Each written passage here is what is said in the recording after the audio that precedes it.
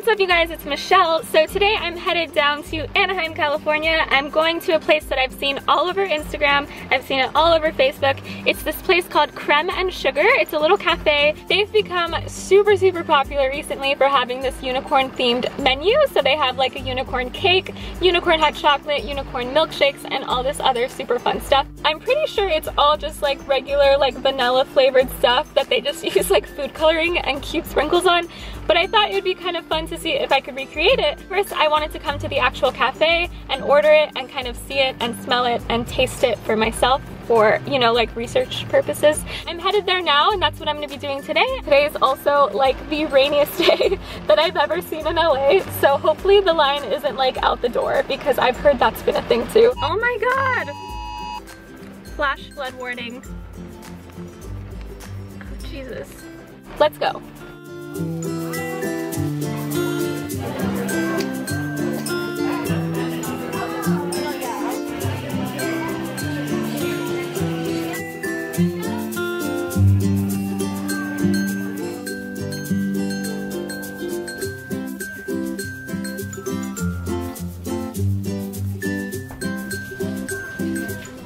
you guys.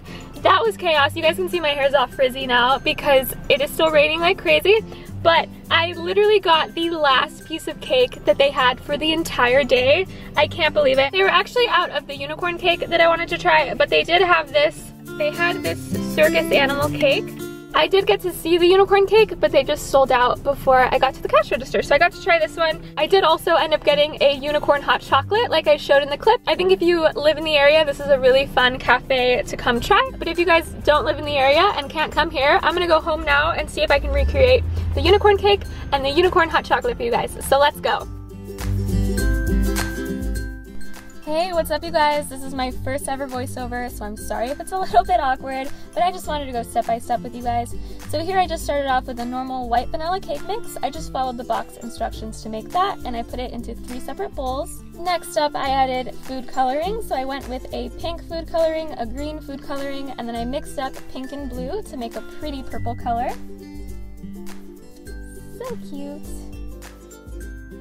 Once your colored batters are done, you want to put them into three separate round cake pans and then put them in the oven for whatever time the box says.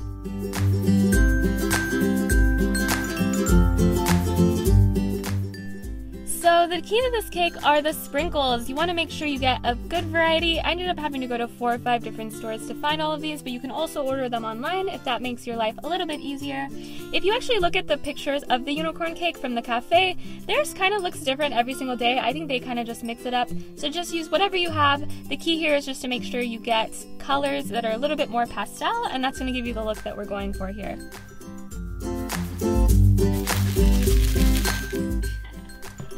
Once the cakes are out of the oven and cooled, you might have to trim them a little bit like I did just to make sure that they stay flat. And now for the interior frosting, I just took some regular white icing and added some blue food coloring to it.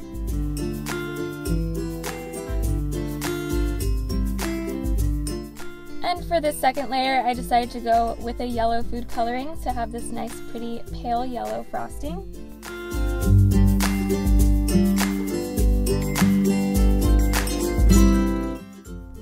I needed to stop here for a second to warn you guys, do not buy this frosting that I'm showing you here. I definitely did not read the label when I was at the store and I accidentally bought this fluffy marshmallow frosting and it was so sticky and so hard to work with. And you guys will see in a second, I tried doing this cute swirl design on top of the cake and it totally just like glooped over.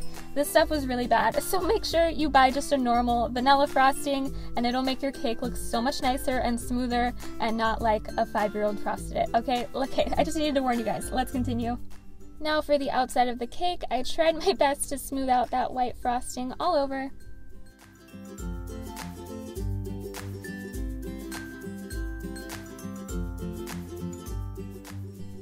And here were those cute little swirls I tried doing. I just added three different colored frostings into my piping bag. You guys can see they kind of turned into more like Hershey Kiss looking blobs but I thought they were still cute.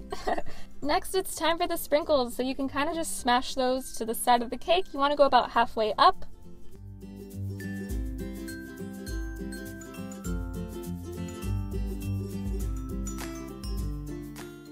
And then finally add a couple extra sprinkles to the top and you're all done. So for the unicorn hot chocolate, it's super simple. You're just gonna have to warm up some milk with food coloring. You're gonna need some white chocolate sauce. I got this from World Markets. And then you're gonna top it off with some whipped cream, some cute marshmallows, and some of the sprinkles that we're using for the cake. Pink milk. I don't like it super sweet, so I'm not gonna add too much. Maybe, maybe a lot. Just kind of whisk that in. Then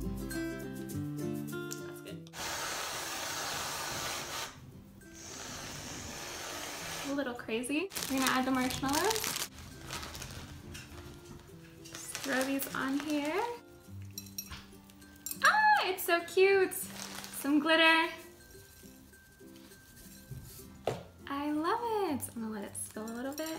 And that is the unicorn hot chocolate. Oh, that looks perfect. It's cute, right?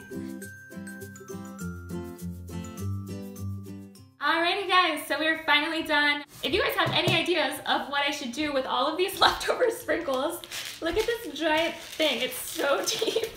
If you guys know what I should do with these, leave me a comment down below because I have no idea. But yeah, let's cut into this and taste it.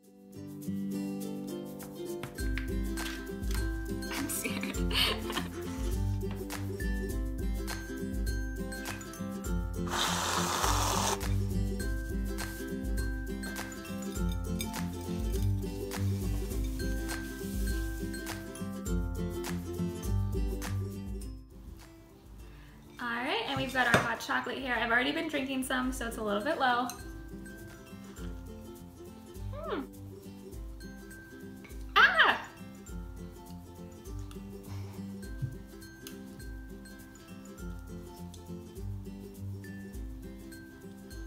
That is so good.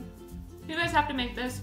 Leave me a comment down below if you'd like me to do more videos like this in the future and be sure to give it a thumbs up if you enjoyed. Thank you guys so much for watching and I will see you guys in the next video. Bye!